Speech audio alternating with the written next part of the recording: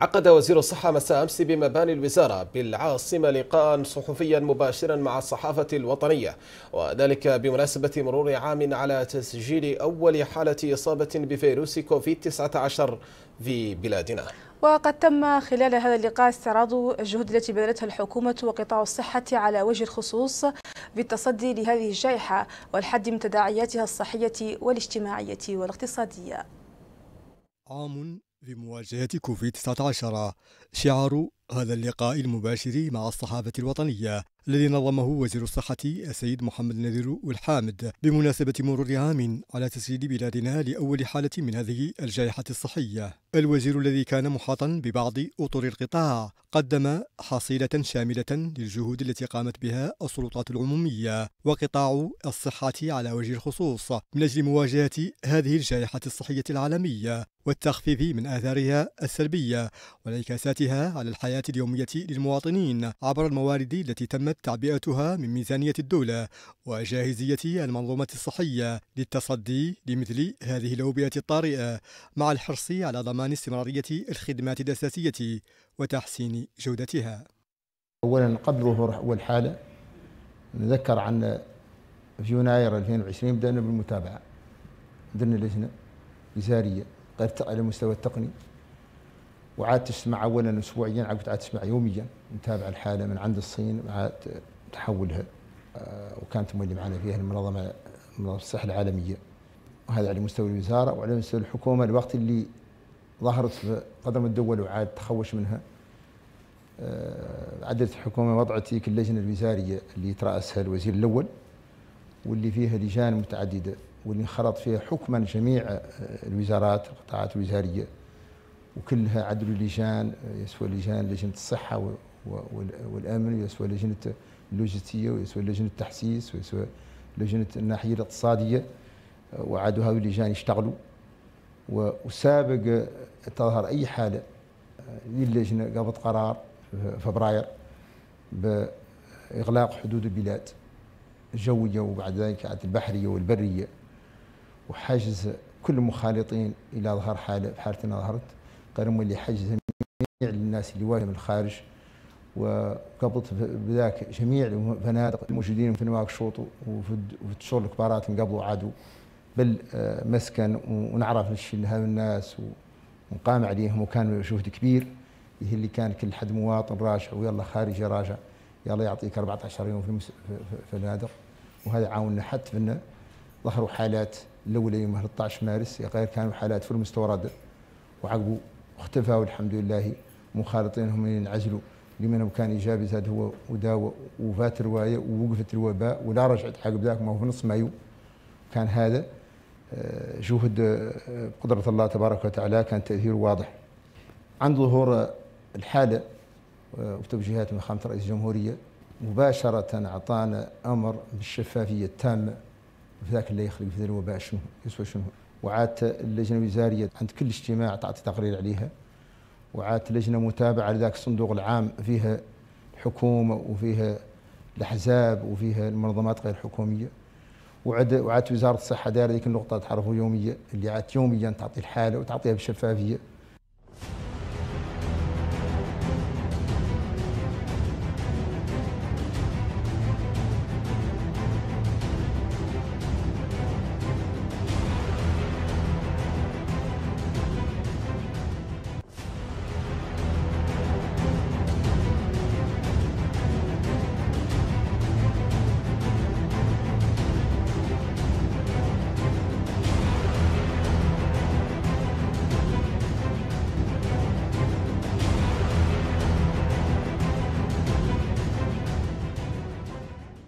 ومع تراجع تسجيل حالات الإصابة بهذا الفيروس في موجته الثانية وظهور لقاح له. بدأ قطاع الصحة بالإعداد لإطلاق حملة للتلقيح ضد الفيروس مع التوقع بالحصول على اللقاح مع نهاية الشهر الجاري. اللي نقول عن هاي الناس اللي كفل بيها وفر في كوفيد ما فيها اللي يطالب, يطالب بأي وقية يسوى شنو؟ يسوى الدواء ويسوى الفحوص ويسوى الغذاء. ويسوى الناس اللي عات معاه اي حد خذ كل شيء كانت الدولة متكلفة به تماما بدواه وبفحوص وبوكيل وشراب وذاك أساسي. الحكومة كانت عندها نية حسنة وهبت بالعجلة وهب الطواقم الصحيه بالعجلة بجديه مولي ولا بقى منهم حد يسوى الخصوصي يسوى العمومي وهبوا جميع الفاعلين. وهذا اعطى مولانا منه الحمد لله جبرنا نتيجة ذاك. الحكومة ضرك واحلف تهيئ لهذا اللقاح. راجين لا يخلق بعد أيام ما هم ياسرين ثم سبل متعدده آه، وراجين لا نجبروه ما هو باطي آه، لا مواسين دور لا يجبر سابق نهاية مارس إن شاء الله تعالى ولا يعود هو الرواية الأخرى اللي تدخل في هذا اللي موحول فيه. العالم فرضرك ما يعطي لقاح حد المادة ما وقعت. كل شيء اللي يعود هو ما هم مسؤولين عن شيء سوى شو. أنها عنهم كل مسؤولية. هذا عدة الدول فر. قال نحن ما لين عدلوه ما تاكدنا منه بين اللي ما لين يرفدوا خطورة عن شيء ما متاكدين ما في حد حد خطورة على المواطنين. وهذا يودينا نناقشوا معاهم يتاكدوا من هذا. يقال اللي ذاك فرق في التوقيعات. الناحية الثانية اللي هي اللي تفهم ماده في هذه المبادرات العالمية. انهم عندهم معايير. آه، إحنا إن شاء الله حامدين مولانا اللي حالتنا وبائية خفيفة. ونحن ما ياسر من الناس. هم معاييرهم الدول اللي عندها ياسر من الخلق. واللي الحالة فيها متينه عندهم هم نظامهم. إلى الأسبوع الماضي مسولين هم اللي جاءوا الأسبوع الماضي بينهم. واسبوع أسبوعين 10 أيام ندور إن شاء الله. يجيكم لقاحة وقالوا لنا بينهم أسبوع ولا 10 أيام دور. نحدثكم التاريخ ما تحدث في من يعني آه، لقاحات اللي من الصين. ذلك نناقشوا معاهم صيغة النقل بهم. وما مناقلين لهم عاطيننا هك ونحن هم اللي ينقلوه. والخطوط الجوية الموريتانية جبرت أمرهم الحكومة. عنها تنقل اللقاح. واحد من الحالات اللي حاصرهم الا نظام غير نظام النقل ما هو بالبساطة. يلا نعرف كانت طاره اللي ترفدوا الصيغه اللي ترفدوا بها الدول اللي تاخذ عليهم يلا يعطى انها تاخذ فوقهم. بدل ما تنزل في الطريق يلا نعرف هذا هو المحور في ضر غير هذا اللي يطلب الجام كيف قلت ما نقدر نقول اليوم.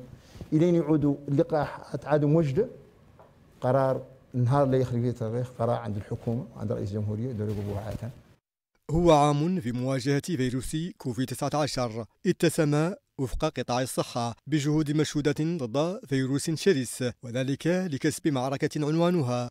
المثابرة والصمود والنجاعة في الأداء لإنقاذ أرواح المواطنين ومحاصرة الوباء. أنهت مساء أمس بمركز ومغارة الإداري وزيرة الشؤون الاجتماعية والطفولة والأسرة رفقة وزير التشغيل والشباب والرياضة الأنشطة المخلدة للعيد الدولي للمرأة على مستوى ولاية داخلة وذيبو وتضمن الحفل الختامي تسليم مبالغ مالية لصالح التعاونيات النسوية في نوامخار إضافة إلى تقديم فقرات فنية مختلفة.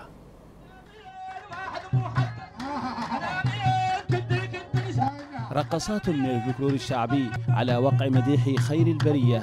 تؤديها فرقة شعبية بمركز وامقار الإداري ضمن الفعاليات المخلدة للعيد الدولي للمرأة بحضور وزيرة الشؤون الاجتماعية والطفولة والأسرة رفقة وزير التشغيل والشباب والرياضة ورئيس اللجنة الوطنية لحقوق الإنسان والوالي المساعد لداخلة وذبو حفل يأتي تتويجا لسلسلة من الأنشطة قام بها قطاع الشؤون الاجتماعية والطفولة والأسرة لصالح الترقية النسوية على مستوى تجمعات وقرى إمراق. ضمن هذا التوجه أشرفنا معكم اليوم ضمن القافلة قافلة التضامن مع المرأة التي أطلقها أطلقناها على طول الشاطئ من نواذيب إلى نجاغو على إطلاقها لمجموعة من الأنشطة الهادفة إلى تحسيس قدرات المرأة.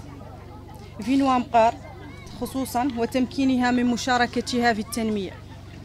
حيث استفادت النساء من استشارات طبية مجانية فضلا عن توزيع مواد غذائية على المواطنين الأكثر ضعفا وتشخيص وضعيات سوء التغذية لدى الأطفال فضلا عن أنشطة ثقافية وتحسيسية تستهدف التنمية للوعي بحقوق المرأة. كما تم تمويل أربعة مشاريع سنطرقها هذا المساء للنساء في نوامقار متخصصة في الصيد التقليدي. لدعم إنتاجهن وهو جهد سيستمر بحول الله. من جانبه رئيس اللجنة الوطنية لحقوق الإنسان السيد أحمد سالم الحبيني أكد أن هيئته تعمل كمستشار للحكومة في الاطلاع ميدانيا على وضعية السكان وتحسين المنظومة الحقوقية والاجتماعية والاقتصادية. نحن عندنا جزء من الاطلاع على المشاكل الحقوقية للمواطنين المباشرة والهدف منها هو توصالها للحكومة. ياك ذوك المعلومات اللي ما توصلت لهم الحكومة وحدها والجهات الحكومية وحدها نوصلهم لها إحنا. وفعلا كانت لمناسبة ثمينة مجية هون. أولا نذكر فيها عن ذي البليدة. يا الله ما تنسى موريتانيا عنها بليدة عريقة وعنها عريقة في تاريخ موريتانيا خاصة في ميدان ميدان الاستعداد وميدان العمل. وهذا ما هو ياسر في شعبنا. آه، آه، استعدادهم للعمل خاصهم لا أحد يعاونهم عليه. أما عمدة وأمغار السيد محمد ولي الحسن فقد ذمن باسم السكان الجهود التي تقوم بها السلطات العمومية والعناية الممنوحة للفئات الهشة داعيا إلى تلبية عدد من المطالب لصالح سكان قرى وتجمعات مركز وأمقار الإداري. وخلال هذه التظاهرة تم توزيع مبالغ مالية دعما للجنة المديرة للدخل على أربع تعاونيات نسوية في إطار برنامج قطاع الشؤون الاجتماعية والطفولة والأسرة الرامي إلى ترقية المرأة الريفية وولوجها للمقاومة. المقاولة النسائية. وقد شهد الحفل أيضا تقديم فقرات فنية متنوعة شملت عرضا للأزياء ووصلات موسيقية والشعرية عكست التنوع الثقافي للبلد وأهمية الدور الذي لعبته المرأة على مستوى قرى إمراقل أمر تفاعل معه الجمهور الحاضر في تلك الناحية الواقعة في الجزء الجنوبي والجنوب الشرقي من ولاية داخلة وادبو الباغة الشيباني قناة الموريتانية موامقار أصدرت شركة معادن موريتانيا بيانا أوضحت فيه وقوع حادث مؤسف الليلة البارحة والمتمثل في سقوط بئر على بعض المراقبين. وحسب المعلومات الأولية وبعد التواصل مع السلطات الأمنية والإدارية فإن المفقودين جراء الحادث في حدود ثمانية أشخاص. أثمرت جهود الإنقاذ حتى الآن عن إخراج أحدهم وهو على قيد الحياة. وفور تلقيها المعلومات باشرت فرق من الجيش الوطني والدرك الوطني وشركة معادن موريتانيا معاينة المكان الذي يقع خارج المنطقة المرخصة للتنقيب وفي المنطقة المحظورة وخارج تبعية شركة معادن موريتانيا. وإثر هذا الحادث المؤسف تعلن شركة معادن موريتانيا تعبئة كل إمكانيات الشركة لإنقاذ المفقودين وهي جهود يشرف عليها الجيش الوطني والدرك الوطني والسلطات الإدارية. تأمل أن تثمر هذه الجهود في إنقاذ بقية المفقودين جراء سقوط بئر التنقيب وأن يأخذ المراقبون مخاطر التنقيب خارج المنطقة المرخصة أو تجاوز إجراءات السلامة المطلوبة على محمل الجد. تجدد دعوتها لكل المراقبين بضرورة احترام إجراءات السلامة المنصوصة والتي تم إطلاع كل المراقبين عليها. كما تجدد تحذير المراقبين من المنطقة المحظورة والمغلقة عسكريا لما يشكله ذلك من مخاطر على حياتهم وأمنهم. أطلقت مفوضية حقوق الإنسان والعمل الإنساني والعلاقات مع المجتمع المدني بالتعاون مع مفوضية الأمن الغذائي في مدينة سيليباب عملية مساعدة لعدد من الأسر المحتاجة. شمت المساعدات تقديم سلات غذائية ل 200 أسرة تم انتقاؤها وفق معايير شفافة بشأن السلطات في ولاية قديماغا من مخازن مفوضية الأمن الغذائي في ولاية كتيماكا أطلق مفوض حقوق الإنسان والعمل الإنساني والعلاقات مع المجتمع المدني عملية توزيع 200 سلة غذائية على بعض الأسر المحتاجة في مدينة سيليبابي وتأتي هذه العملية المنفذة بالتعاون مع مفوضية الأمن الغذائي ضمن جهود السلطات العمومية الرامية إلى تخفيف الأعباء المعيشية على المواطنين الأكثر احتياجا بفعل جائحة كورونا وآثارها الاقتصادية والاجتماعية. شرفني الحضور اليوم في مدينة سيليبابي لانطلاق حملة توزيع سلات غذائية لا هي يدعموا بهم 200 أسرة في مدينة سيليبابي وهذا النشاط اللي داخل بالتعاون مع مفوضية الأمن الغذائي داخل في نشاط الحكومة اللي تآزر المواطنين وتتابعهم أينما كانوا. وهذا مهم حتى عند الحكومة عنها تآزر المواطنين وتتابعهم خاصة في ظل هذه مكافحة والتصدي لجائحة كورونا. وقد تم انتقاء المستفيدين من هذه التوزيعات بالتنسيق مع السلطات الإدارية مع مراعاة المستويات المعيشية للأسر المعنية بعملية التوزيع. طاونا معروض طاونا دلوي. شاكر الدولة حتى ليه الأدلنا وزين عندنا حتى. وواصلين في قباء ولأننا طالبين الدولة حتى لأن أدتنا زين حتى. وقار فينا حتى. يا ونبقوها قاعد يزيدونا حتى. شاكر مفوضية اللي رينا ريناها في الوقت المناسب. حامدين عليهم ولانا وشاكرينكم. وتنفذ مفوضية حقوق الإنسان والعمل الإنساني والعلاقات مع المجتمع المدني حملة توزيع السلات الغذائية بشراكة مع مفوضية الأمن الغذائي ضمن تشجيع سياسة التكامل بين مختلف أجهزة وقطاعات الدولة. إحنا اليوم بصدد عملية مهمة تمثل في توزيع 200 سلة غذائية لصالح الأسر الأكثر هشاشة في مدينة سيلي بابي. وهي العملية تجسد الشراكة بين مفوضية حقوق الإنسان ومفوضية الأمن الغذائي. العملية يشرف على انطلاقتها مفوض حقوق الإنسان اليوم وشملت 200 أسرة مستفيدة. عملية التوزيعات الغذائية في سيلي بابي جاءت بعد عملية مماثلة في كيهيتي على أن تشمل لاحقا مختلف ولايات الوطن ضمن جهود الدولة من أجل مؤازرة السكان وتخفيف الآثار الناجمة عن جائحة كورونا. محمد علي سالك لقناة الموريتانية مدينة سيلي بابي. انطلقت صباح اليوم على عموم التراب الوطني فعاليات المرحلة الثانية للأولمبياد الوطني لنيل جائزة رئيس الجمهورية للعلوم. ويشارك في هذه المرحلة 1088 تلميذا من الروابع في التعليم الثانوي والسوابع العلمية والرياضية. انطلاق المرحلة الأولى من أولمبياد رالي العلوم يأتي بعد تأهل 1088 مشاركا من تصفيات المرحلة الأولى. ثانوية البنين في ولاية واكشوط الغربية شكلت المحطة الأولى من زيارة الأمين العام لوزارة التهذيب الوطني والتكوين التقني والإصلاح للاطلاع على ظروف سير المسابقة. كما شملت زيارة التفقد هذه المراكز الرئيسة في ولايتي أنواكشوط الجنوبية والشمالية. الأمين العام للوزارة السيد علي سلا سوماري أكد أنه بتوجيه من الوزارة تسهر المصالح المشرفة على بذل الجهود التي تضمن سير الرالي في أفضل الظروف وأضاف أن هذا الأولمبياد يجمع تلاميذ الروابع إعدادية والسوابع الرياضية والعلمية. وتجري هذه الجولة من التصفيات الثانية لرالي العلوم في جميع جميع عواصم ولاية الوطن حيث سيتم اختيار الخمسين في المئة الأوائل من المشاركين للتأهل للمستوى الثالث من هذه المسابقة. وتعد مسابقة رالي العلوم التي تنظم كل سنة فرصة للتنافس الإيجابي بين الأجيال في التحصيل العلمي. أدى الأمين العام لوزارة الإسكان والعمران والاستصلاح الترابي صباح اليوم رفقة والي العصابة زيارة تفقد واطلاع لعدد من المرافق العمومية قيد الإنجاز يتم تشييدها من طرف قطاعه على مستوى مدينة كيفا تهدف هذه الزيارة للاطلاع ميدانيا على مستوى تقدم الأشغال في هذه المباني والوقوف على مدى الالتزام بالأجال المحددة وفق دفاتر الشروط المتفق عليها. شكلت مباني ولاية العصابة المحطة الأولى من زيارة الأمين العام لوزارة الإسكان والعمران والاستصلاح الترابي السيد أحمد الدداي.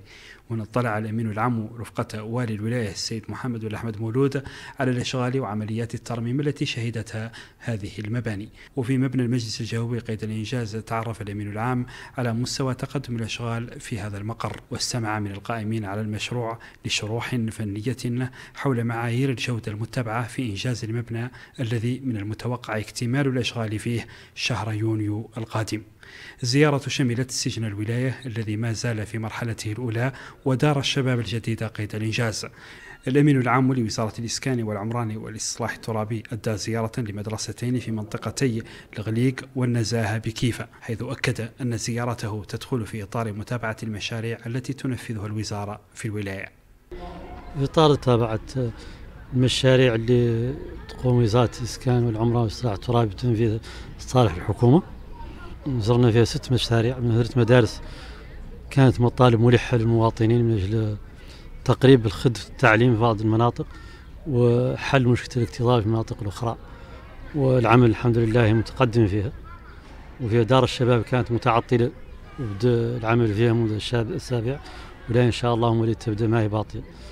وقمنا بزيارة المجلس الجهوي. كان العمل متقدم فيه الحمد لله.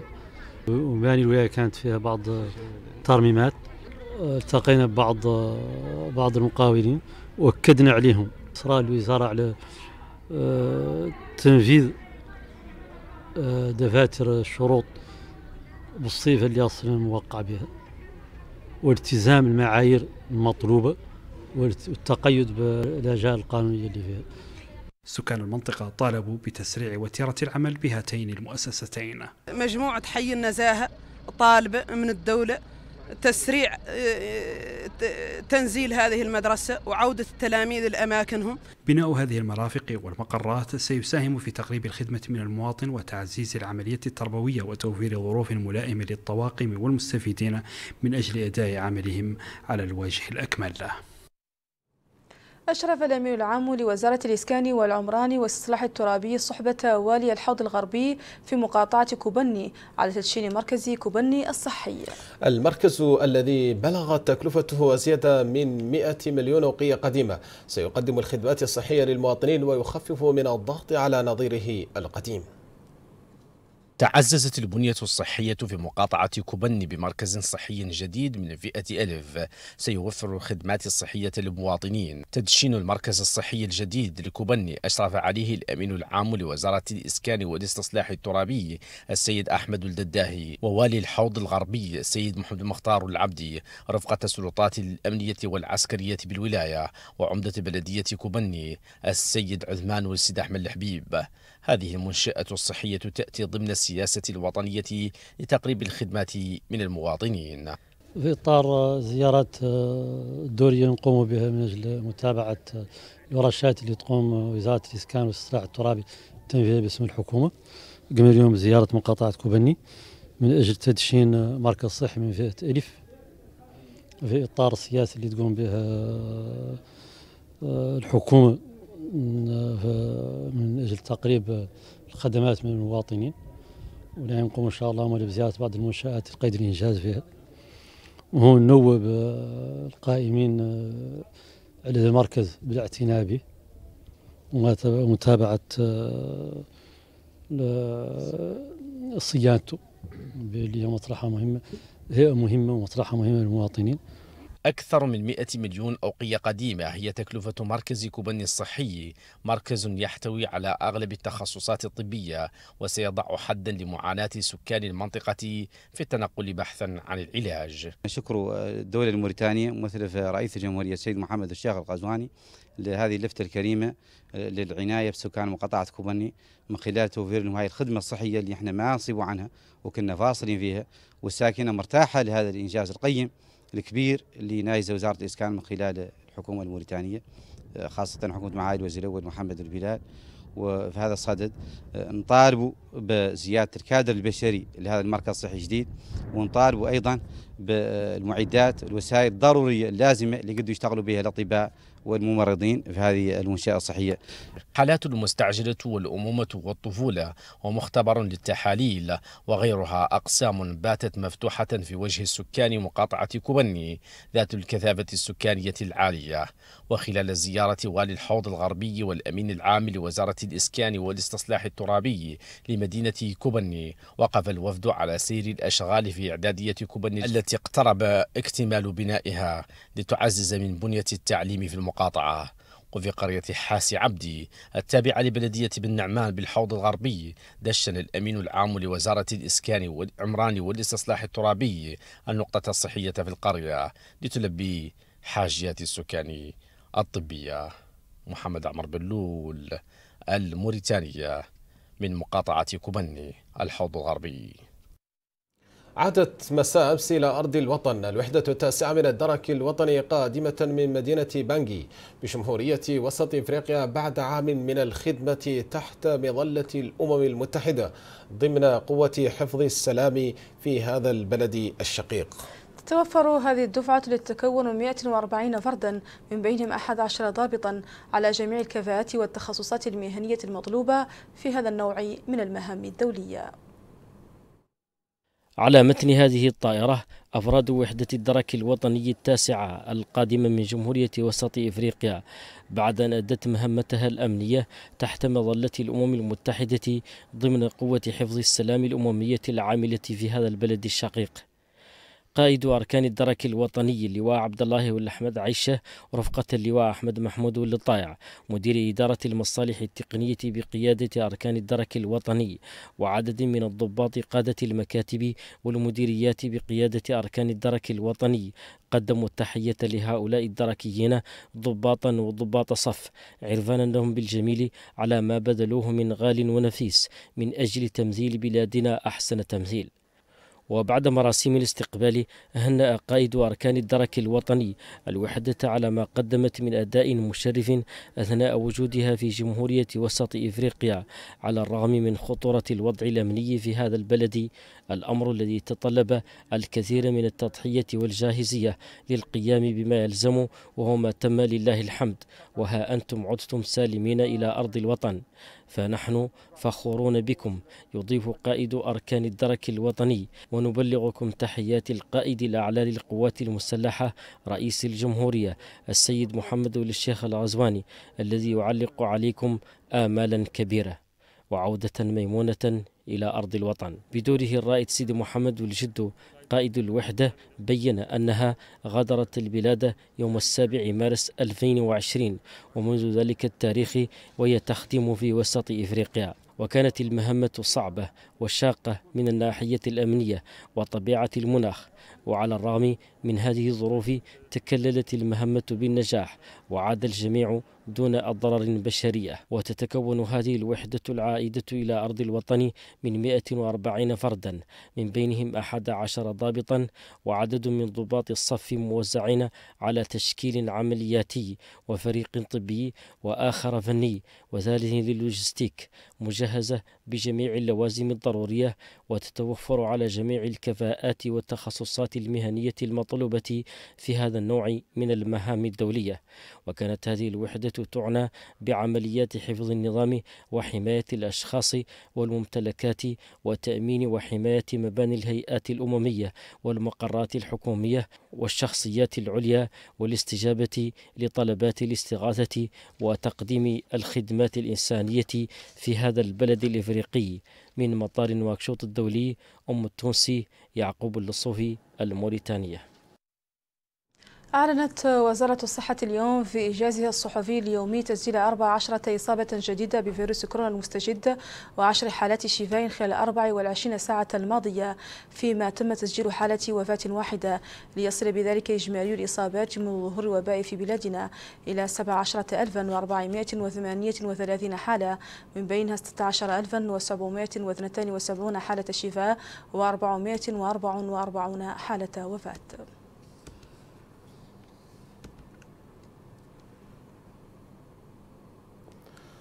نظمت بلدية دار نعيم الليلة البارحة في مركز أنشطة الفتيات بالمقاطعة أمسية ثقافية وذلك في إطار الفعاليات المخلدة للعيد الدولي للمرأة. تميزت الأمسية بتكريم عدد من النساء على مستوى البلدية وتقديم قراءات شعرية فصيحة وشعبية وأغاني فلكلورية وسكتشات ومداخلات تعالج أهمية حضور المرأة في مراكز صنع القرار ودورها في تنمية البلد والمحافظة على المكتسبات التي تحققت لصالح المرأة.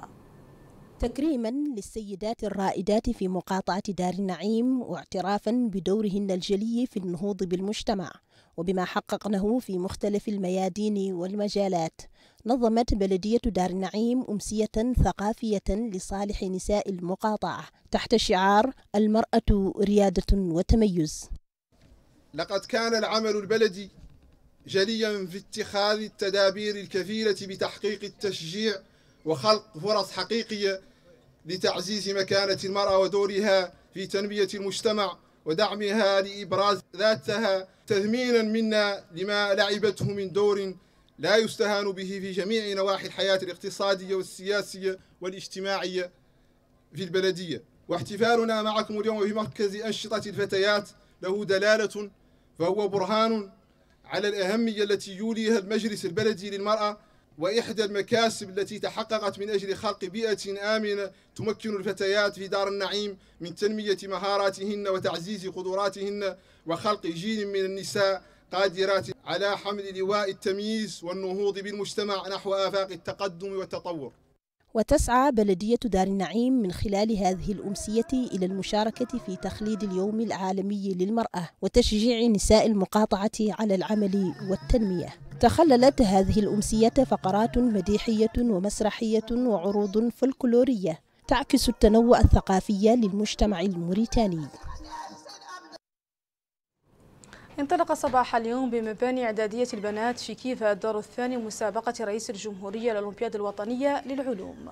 وقد أدى الوالي المساعد بولاية العصابة زيارة تفقدية لمركز امتحانات الأولمبياد بهدف الاطلاع على الظروف التي تكتنف سير المسابقة.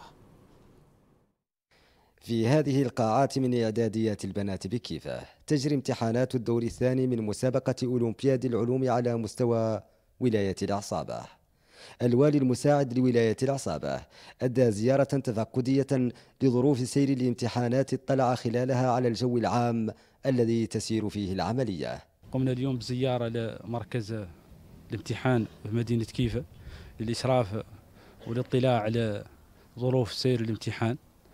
وكما لاحظنا ظروف الحمد لله آه، الامتحان ظروف جيدة تسير في أحسن الظروف باحترام. ذيك المعايير كاملة معايير الصحية المعايير التنظيمية كاملة تم احترامها في في إطار تنظيم المسابقة. من أصل 422 مشاركا على مستوى ولاية العصابة تأهل للدور الثاني من الأولمبياد 70 مشاركا موزعين بين مجالات الرياضيات والفيزياء والعلوم الطبيعية. هذه المسابقة تندرج في إطار آه، مسابقة جائزة رئيس الجمهورية للعلوم. وقد تأهل لها سبعون مترشحا آه، موزعين على آه، الأقسام النهائية التي هي الروابع بالنسبة للإعدادية والسوابع بالنسبة للثانوية. أذكر بأن ولاية العصابة حلت الرتبة السادسة في العشر الأوائل السنة الماضية. المسابقة خلقت جوا تنافسيا بين الطلاب. شحذ هممهم وعزائمهم مستندا إلى ما زرعه الأساتذة في نفوس تلامذتهم. من معارف أذكت جذوتها هذه المسابقات ومثيلاتها كنوع من تشجيع النهم المعرفي. فعلا كانت منافسة حفتنا على التنافس الجدي والروحي بأنك تتنافس أولا على المستوى الولاية ثانيا ذيك على المستوى الوطني. ذلك إنك ترفع رأس المؤسسة اللي أنت تقرأ فيها وتسعى أنك ذي المادة فعلا تعني لك شيء. عدل septième D وشاركت في هذه المسابقة وطلعت في premier tour وحالا الحمد لله نعدلو deuxième طمح على نجاح الفوق ونعد نقبا نرفع رأس ساتي تلقى الراوند يتابعوا دي واهلي مولي عدت نبقى ننجح ونرد لهم المعروف. طموحي نجي إن شاء الله هو الأول في المسابقة. وجاي اليوم امثل مدرستي. ومثل أساتذتي ومثل ولايتي ولايتي. سبعون تلميذا وتلميذة يمثلون نخبة أبناء إعداديات وثانويات ولاية العصابة تجاوزوا حتى الآن إلى الدور الثاني. ولا شك في نفس كل واحد منهم إصرار وعزم كبير على تحقيق الفوز والنجاح. في هذه البطولة الوطنية التي ستحدد الأيام اللاحقة من سيربح المليون فيها ويحقق شرف البطولة. عبد الله الصوفي مدينة كيفا قناة الموريتانية. والآن مشاهدينا الكرام ننتقل إلى شبكة مراسلنا حيث ينضم إلينا من كيفا عبد الله والصوفي ومن أطار الشيخ والحميدي. أهلا بكما معي في هذه النشرة. آه، لو بدأت معك عبد الله والصوفي من كيفا عبد الله آه، كيف جرت المرحلة الثانية من مسابقة الأولمبياد الوطنية على مستوى مدينة كيفا؟ آه، جميل تحية طيبة لك ولكل مشاهدي قناة الموريتانية كيف هي الأخرى آه، اليوم وعلى غرار بقية التراب الوطني؟ آه، جرت في امتحانات الدور الثاني من مسابقة رئيس جائزة رئيس الجمهورية لأولمبياد هذه المسابقة خاصة بالأقسام النهائية بالنسبة للإعدادية وبالنسبة للثانوية. أي السوابع والروابع. شارك في الدور الثاني سبعون تلميذا خمسون منهم خمسون ولد وعشرون بنت. وقد توزعوا على النحو التالي خمسة مشاركين بالنسبة للروابع الإعداد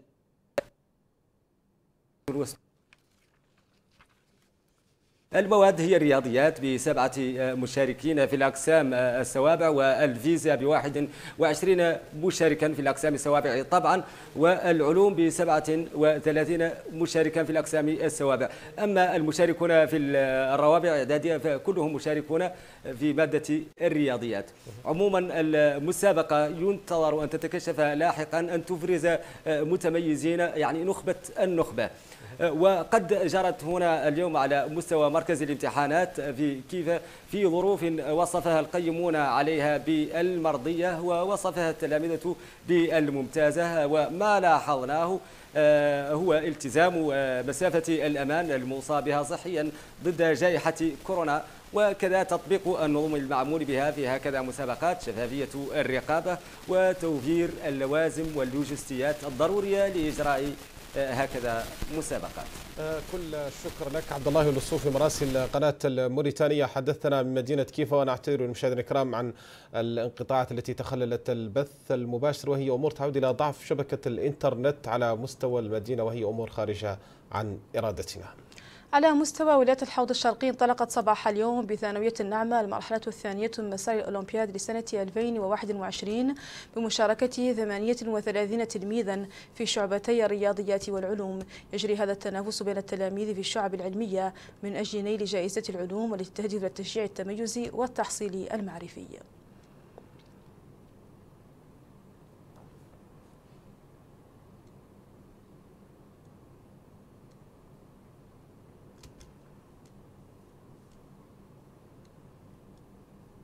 وفي موضوع متصل تميزت المرحلة الثانية من مسابقة جائزة رئيس الجمهورية للعلوم في مدينة كيهيدي بزيارة من السلطات الإدارية والبلدية للتلاميذ المشاركين في هذه المسابقة بشقيها الأولمبياد والرالي وأجرت الامتحانات في ظروف طبيعية.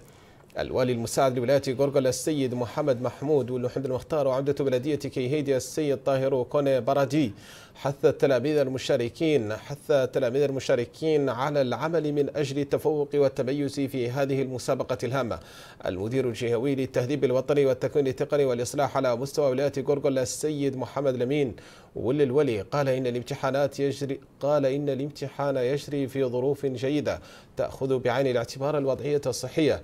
ويتقيد فيها الجميع بالإجراءات الوقائية من فيروس كورونا.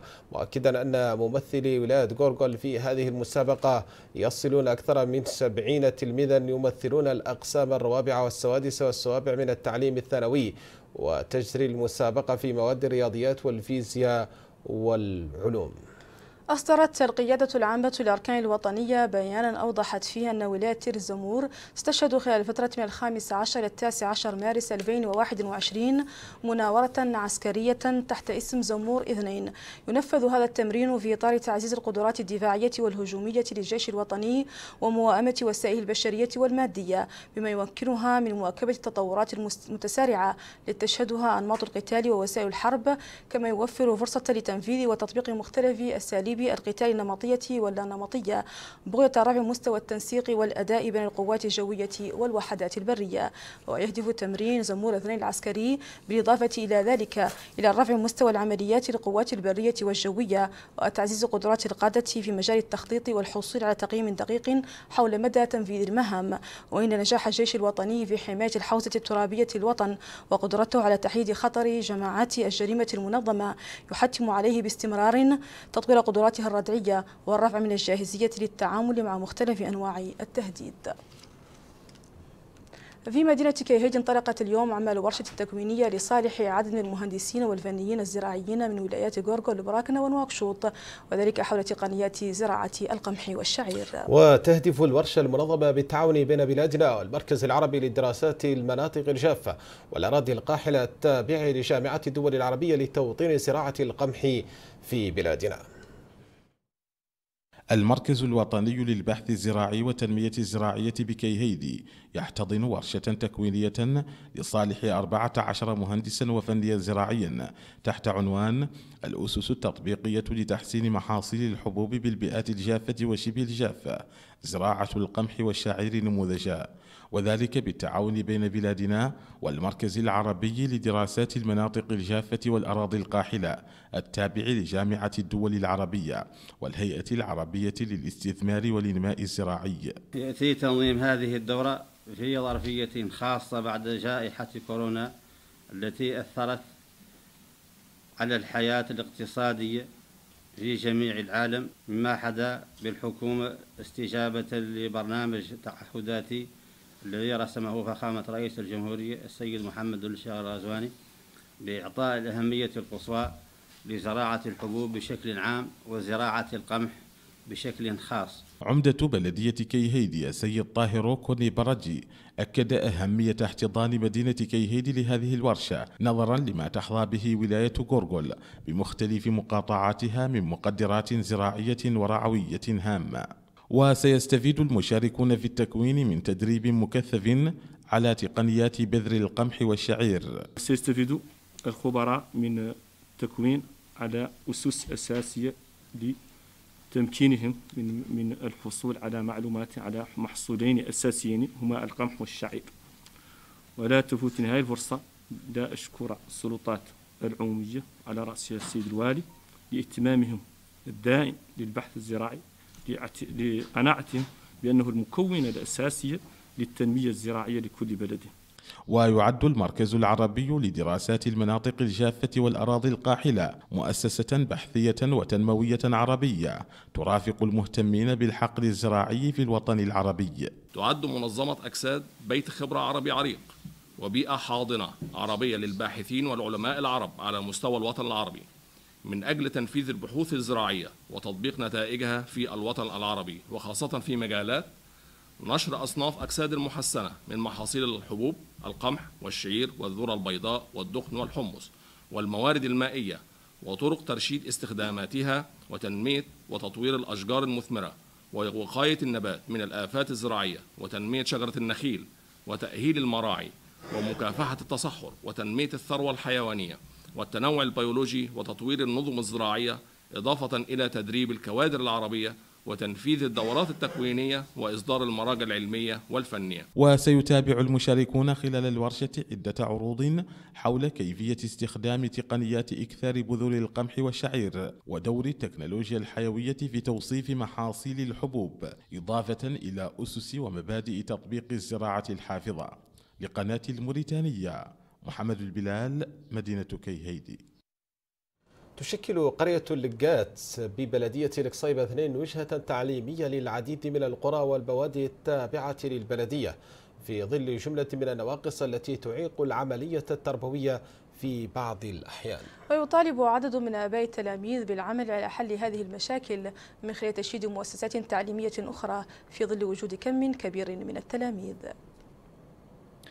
على خط التماس بين ولايتي ترارزة والبراكنة تقع قرية اللقات التي تعتبر واحدة من أكبر القرى ببلدية القصيبة 2 من حيث الكثافة السكانية. تتوفر هذه القرية على منشأتين تعليميتين مكتملتي الفصول إحداهما ابتدائية والأخرى إعدادية. لكن العملية التربوية فيهما تجري في خضم مجموعة من التحديات. من أبرزها نقص الكادر التعليمي وغياب بعض الأدوات واللوازم المدرسية حسب ما يؤكد هؤلاء. المؤسسة تم إنشائها سنة 2016 والآن تحوي ما يقارب 200 من الطلاب فيها أربع, أربع فصول لكن تعاني من بعض النواقص. نواقص في الكادر البشري ينقصها الآن أستاذ لغة فرنسية من منذ أعوام متتالية. لا يحضر لها أستاذ اللغة الفرنسية وعندنا نقص في أستاذ التاريخ وبقية المواد الحمد لله مقضية هذه الإعدادية كانت السنة الماضية معدلة فيها السنة السابقة الماضية معدلة فيها مسابقة ختم الدروس الإعدادية. و ذي المواد الأساسية والله المواد العلمية كيف الفرنسية والرياضيات ما قد جانا أستاذ لهم. وسعيا إلى سد بعض النواقص التي تعيق سير الدراسة داخل هاتين المؤسستين. شرعت السلطات البلدية مؤخرا في توفير بعض المعدات التي يحتاجها التلاميذ وسط مطالبات بتشييد ثانوية عامة في أقرب الآجال. هذه قرية قالها لقات من أكبر قرى بين بوقي وروس فيها إعدادية وفيه مدرسة ابتدائية. المدرسة الابتدائية فيها ستة أقسام أربعمية من التلاميذ. والإعدادية فيها تقريبا ما يزيد على ميتين. وبها اللي هي البلدية هي الإعدادية اللي حكما في ذي المنطقة. عاد تتوافد عليها الناس من من القرى اللي محاذية للقرية هم. ظروف اللي ندوروا المعلمين والأساتذة. ونحن موفرين لهم مساكن كقرية وك كعمدة المعلمين عندهم والأساتذة عندهم سكن وعندهم حالة مكان موفرة لهم وعندهم الماء مجاني. والطاولات كانوا اللي ما هو موجودة على مستوى المؤسسات وتكفلت بهم وعدلوا. معناها عن البناية جاهزة البنايات جاهزين والظروف كاملة متوفرة اللي طالبين. تكملة هذه النواقص اللي اللي قالين هذه المؤسسات الثنتين. ورغم مختلف النواقص التي يتحدث عنها البعض تتواصل الدراسة في هاتين المنشأتين اللتين تعتمد عليهما عدة قرى وتجمعات سكنية. عبد الودود السدنة الموريتانية قرية اللقات بلدية القصيبة اثنين. شكرا لسلم ولحفظ اللي رافقنا إلى هذا الحد من المسائية بلغة الإشارة. محمود البركة ماصة أحد الشباب المستفيدين من برنامج مشروع مستقبلي الممول من طرف وزارة التشغيل والشباب والرياضة بولاية أدرار منات اختار هذا الشاب تربية وبيع الدجاج المحلي بمقاطعة أوشفت كمشروع لما تكتسي مادة اللحوم البيضاء من إقبال لدى ساكنة المقاطعة. محمود البركة ماصة شاب من مقاطعة أوشفت بولاية أدرار كل صباح يتوجه نحو سوق المدينة المركزي ليبدأ عمله الروتيني اليومي في محله الخاص ببيع الدجاج المحلي الذي خصص له هذا المكان لتربيته ورعايته.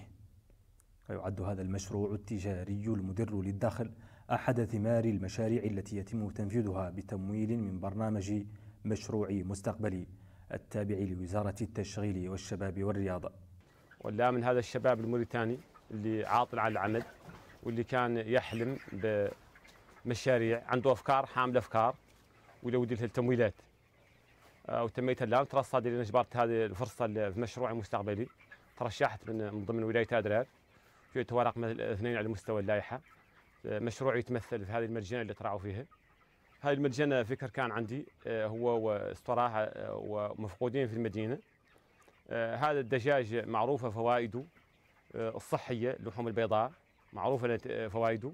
يقول صاحب المشروع الذي انتظره طويلا إنه اختاره من بين عدة مشاريع كان ينوي القيام بها لما يكتسيه من فائدة اقتصادية موفرا من خلاله مادة اللحوم البيضاء بطريقة تراعي المعايير الصحية المطلوبة. والحمد لله فتنا ربينا منهم دفعة ودخلناها السوق ورات إقبال كبير وفرقت به اللي عاد إنسان آه، عاد تناول الناس كاملة. وثمن صاحب المشروع فكرة برنامج مشروع مستقبلي لما يتيحه من فرص عمل للعديد من الشباب في مجالات تجارية مختلفة. فوجفت مرتاح اليوم لأني عندي فرصة عمل شيخه نسيرها ومعايا مجموعات من الشباب مستفيدة برأس مال يقدروا يعود اولا بدأ بسيط يا راشد تخلق توسعة وعلى أن يعود يعقب يعود مشروع عملاق. الحمد لله. آه، الناس هم اللي هون. مرتاح انها توكل دجاج. آه، تشوفه الين يجي ويربى بين يديها ويذبح باياديها ومطمئن عليه وشاكرين الوزارة. آه، مرة ثانية وشاكرين الناس كاملة هم اللي الحمد لله. نشروهم بالكمية من عند مجانا هون الحمد لله نشروهم بالكمية ونبيعوهم بالسقم نشرهم بالكميه ب 12 100 للجيك. والحمد لله نوزنوهم. عندنا نوزنوهم بكيل وربع وليبر. الحمد لله للمواطنين مستفادين منهم إن شاء الله. المواطنين هم الحمد لله ويهدف مشروع المستقبلي الذي يدخل في برنامج الحكومة إلى تمكين الشباب من مشاريع مدره للدخل مما سيساهم في الرفع من المستوى المعيشي لهذه الفئة من المواطنين. الشيخ الحميدي الموريتانية أوجفت. وبالعودة إلى شبكة مراسينا ينضم إلينا مدينة طار مراسلنا الشيخ الحميدي. مساء الخير شيخ. مساء النور مينات ومحمد. شيخ ما مدى استفادة الشباب بولاية أدرار من مشاريع برنامج مشروع مستقبلي؟ وهل هناك مستفيدين استطاعوا أن يحققوا نجاحا مثل ممود البركة؟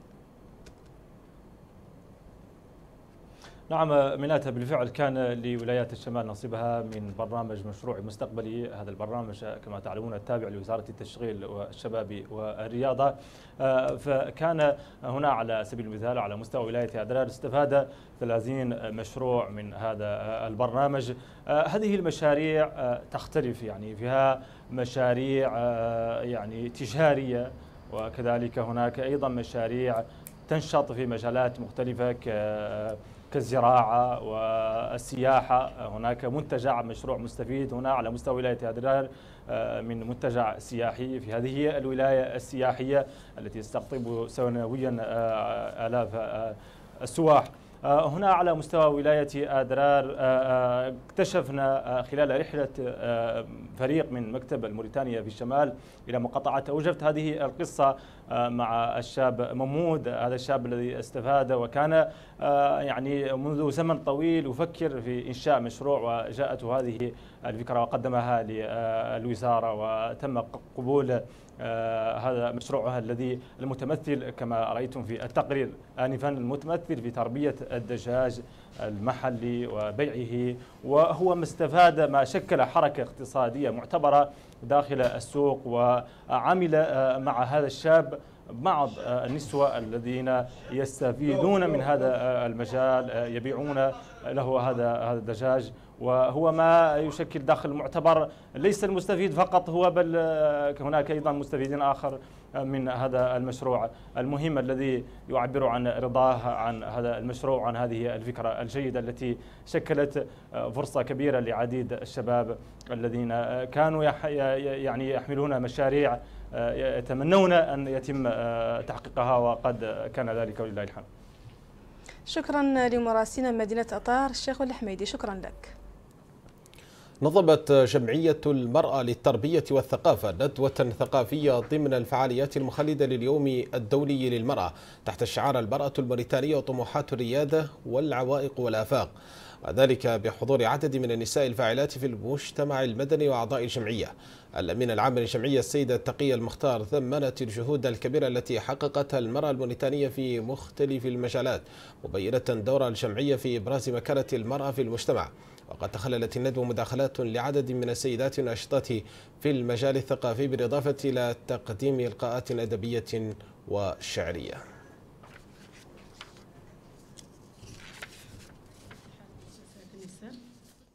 تحفيزا للمرأة على الاندماج في الحياة الاقتصادية وإثبات قدرتها على المنافسة. قامت مجموعة من النساء بتكوين تجمع اقتصادي يرمي إلى الرفع من مستوى المرأة ودعمها لخلق أنشطة مدرة لدخل تساعد في استقلالها الاقتصادي. دعما لعمل المرأة وتشجيعا لها على العطاء في المجال الاقتصادي. انضوت مجموعة من السيدات الموريتانيات تحت عنوان اتحاد مؤسسات النساء. من أجل الرفع من مستوى المرأة ومساعدتها والدفاع عن قضاياها. اتحاد مؤسسات النساء يضم 30 ألف امرأة من جميع أنحاء الوطن الموريتاني ونحن كاتحاد ارتئينا أن نجمعوا فينا جميع العلايات فينا الحمد لله سيدة الأعمال اللي مرموقة ما شاء الله وعندنا مولي بايعة المتجولة. عندنا ياسر للمرأة فتنا قرضنا لها وفتنا مولنا وفتنا بنينا السوق في الترحيل. وفتنا الحمد لله من الله تبارك وتعالى آه، مولنا قدر من العليات بارك الله كونوا العليات على التجارة علموهم كيف الصيفة اللي قدوا تاجروا بها. ياك أعطيناهم فضة ما يبذروها ولا يخسروها ويسيروا بها مشاريعهم ذاك اللي يعدروا الحمد لله. النساء المستفيدات من هذا التجمع النسائي ذمن الجهود القيمة التي قيم بها لصالحهن مؤكدات أن دمج المرأة في الدورة الاقتصادية أصبح ضرورة تفرض نفسها في واقع الحياة اليومية. وكانت المرأة الموريتانية في الدار قاعدة ياسر منها ما سامحوا الحظ في الدراسة ولا والعيال ولا أسمح له ظروفه يشارك. عدلوا هاي الفكرة رفع مستوى أختنا المرأة الموريتانية. إياك نخضب الأخوات إلى لا جيت أنا ومجموعتي فتبارك الله من السيدات وجاونا وفتحوا لنا الحمد لله دفات فتبارك الله. ورأيني شاكرتها وشاكرة فتبارك الله. النساء اللي معاها. الحمد لله استفدنا من هذا وسائل المشاريع فتحنا سوق في الترحيل آه، واستفدنا من ويبقى هذا النوع من المبادرات الهادفة إلى الرفع من شأن المرأة وإشراكها في جميع المجالات. الوسيلة الأنجع لتقدم الشعوب ورقيها. قديما قيل وراء كل رجل عظيم امرأة عظيمة. فالمرأة نصف المجتمع وهي المربية للنصف الآخر. مما يعني أن إدماجها في الحياة الاقتصادية أمر لا مناص منه. لقناة الموريتانية حياة أحمد يوسف نواكشوط ختمت أمس بمقاطعة تيارت فعاليات البطولة الوطنية للتيكواندو أقل من 15 عاما. وقد سلمت في ختام هذه البطولة كؤوس وميداليات للفائزين الأوائل في مختلف النزالات التي عرفتها الدورة. شكل مقر الاتحادية الموريتانية للتايكواندو بملعب تيارت في ولاية نواكشوط الشمالية مسرحا لاختتام البطولة الوطنية للأشبال دون الخمسة عشر عاما في رياضة التايكواندو القتالية. البطولة عرفت مشاركة أربعين فريقا من مختلف أندية اللعبة خاصة بولايات نواكشوط الثلاث وبعض الروابط الجهوية بسيلباب وأطار. نختار نقول لكم هون على في هذا العهد الميمون جميع الأندية وجميع الاتحاديات الرياضية يدور يتم دعمها والدور الحكومة تسهر على أن الأنشطة الرياضية والمنشآت الرياضية الدور تعدل وتعود لايقة لممارسة جميع الأنشطة الرياضية بإذن الله تعالى. وقد شهد حفل اختتام البطولة تقديم نزالات طالت مختلف أوزان هذه الفئة من اللاعبين بمعدل ثمانية أوزان للذكور ومثلها بالنسبة للإناث. باسم ساكن التيار تشرف على اني في ختام هذه الدورة. نقدم تشكراتي للقائمين على الاتحادية الموريتانية للتايكويندو وبالخصوص العميد الصوفي اللي حقيقة من خلال اللي نراعوا فيه كاملين على انه ما بيكون يرفع من مستوى هذه الرياضة على المستوى الوطني ويشرفنا في تيارت على اعلن مقر الاتحادية هون. نشكر جميع اللي ساهم معنا من قريب في هذه البطولة ونرجو من الله إن شاء الله التوفيق للمدربين واللاعبين والجمعيات اللي شاركوا معنا ونشكر اباء التلاميذ واماتهم الذين حضروا في هذه البطولة. الرياضة تستحق الدعم تستحق وجود القطاع الخاص فيها ولا بد لها منه لأنه بدون دعم ما تقدر الرياضة توقف على مواقف سلمت في ختام البطولة الجوائز المالية والميداليات والشهادات التقديرية من قبل الشخصيات الحاضرة بالحفل وذلك لصالح الفائزين الأوائل في نزالات البطولة وهي الجوائز التي عرفت سيطرة فرق وأندية العاصمة نواكشوط عليها. وبذلك نصل مشاهدينا الكرام إلى نهاية مسائية قناة الموريتانية عود على بدء وتذكير بأبرز ما جاء فيها. وزير الصحة يستعرض الجهود التي بذلتها الحكومة بعد مرور عام على تسجيل أول حالة إصابة بفيروس كوفيد 19 في بلادنا. وزيرة الشؤون الاجتماعية والطفولة والأسرة تختتم زيارتها لداخل نواذيبو وتوزع مبالغ مالية على التعاونيات النسوية بنوامغار.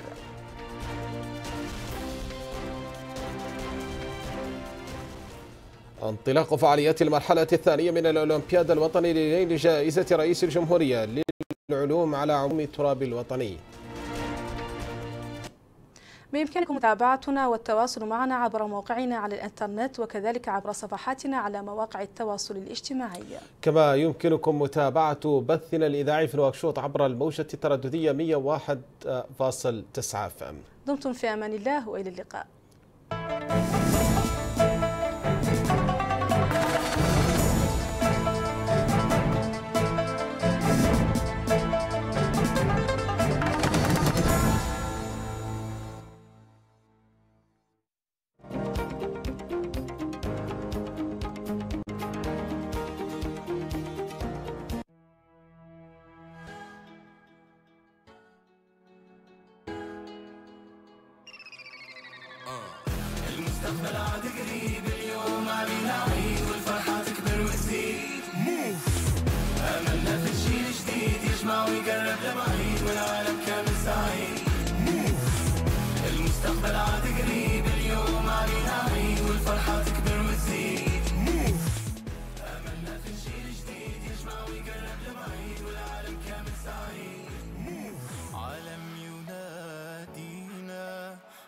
قرب لبعيد علينا عالم ينادينا.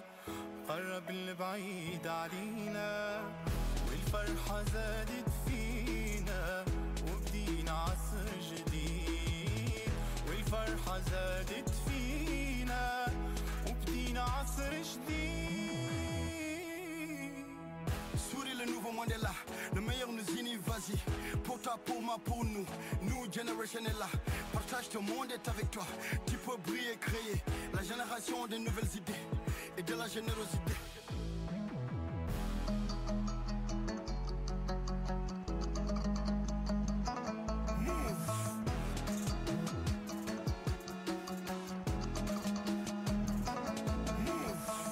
المستقبل عاد قريب اليوم علينا والفرحة تكبر وتزيد أملنا في الجيل جديد يجمع ويقرب لبعيد والعالم كامل سعيد. المستقبل عاد قريب اليوم علينا عيد والفرحة تكبر وتزيد أملنا في الجيل جديد يجمع ويقرب لبعيد والعالم كامل سعيد.